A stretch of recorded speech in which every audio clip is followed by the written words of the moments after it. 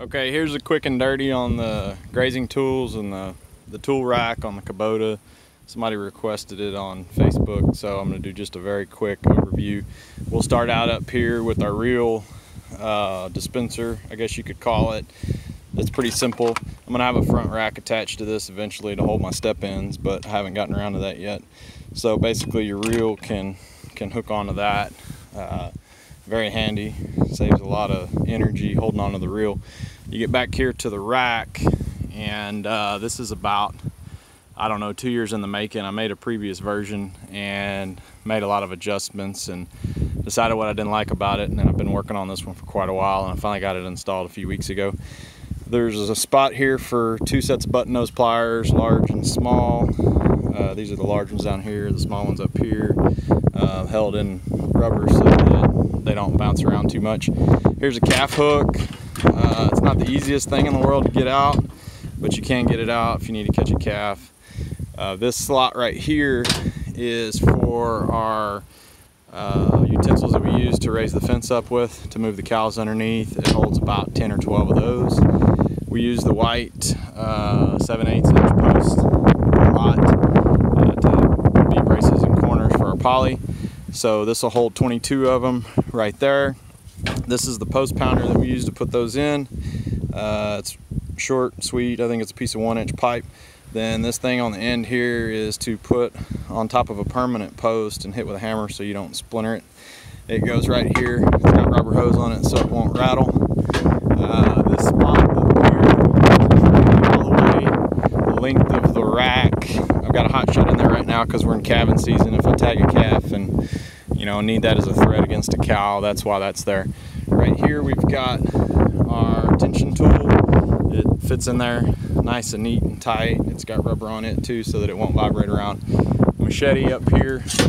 This is a flat nose machete.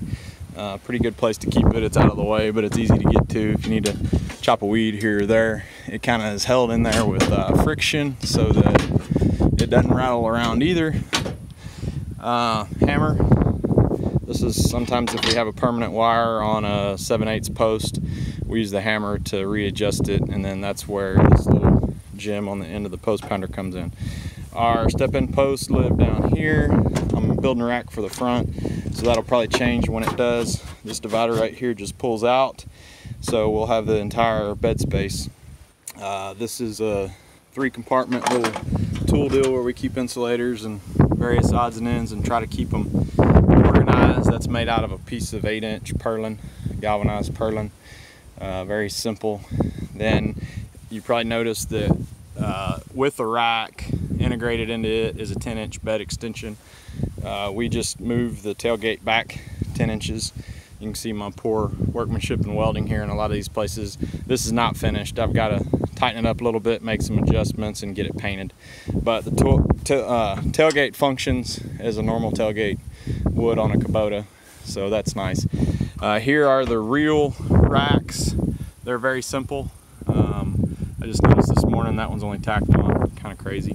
Forgot to weld it, but it's made to where you can slide your reels back and forth. Um, to where you can shuffle them around a little bit if you need to, a lower and an upper.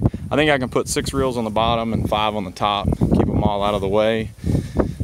Um, little toolbox over here. Got a tray right there that you throw an extra set of pliers, claw hammer, something like that in. And then underneath it, since we didn't need the whole length for our step-in post, there's another little toolbox underneath here uh, that's kind of out of the way that you put stuff you don't need to use very often. This is the other end of that rack at the top. It's got a divider, so we can put little reels of uh, poly wire up there, um, water, water components for the water system and all that. Here's another shot at how the reel holder is made. Works pretty good. It probably needs a little fine tuning. This is the other end of the calf hook sticking out here. A few little things I'm going to do different uh, and just tweak and change, but all in all, I've been really, really happy with it and it works very well, saves us a lot of time and saves us a lot of digging around, throwing stuff around in the bed of the Kubota and pulling our hair out. All right, any questions, just comment or post. Uh, be happy to answer them. Thank you.